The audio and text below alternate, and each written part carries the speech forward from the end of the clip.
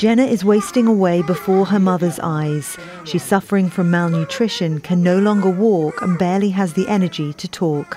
Her mother shows us Jenna before the war on Gaza. Jenna's been brought to Kamal Adwan Hospital in northern Gaza, but it's only partially functioning, and staff can't provide the specialist care Jenna needs, much to the despair of her mother.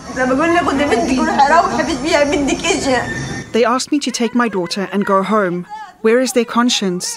What can I do at home with my very sick daughter? I want her to be treated abroad. I want her to be able to talk and walk like other girls. I don't know what to do or where to go.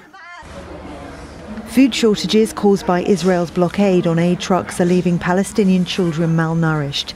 Adwan is suffering from a deficiency in potassium and sodium the two and a half year old has lost more than a quarter of his body weight in the last six months. I have two sons. Both of them are sick. They're fighting for their lives in front of me, and I can't do anything to help them.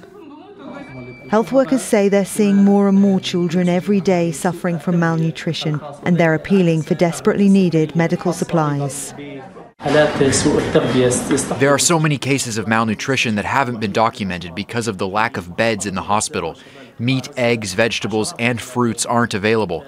This has definitely led to problems with children's immune systems. Infectious diseases are rampant, as is hepatitis because of the water pollution.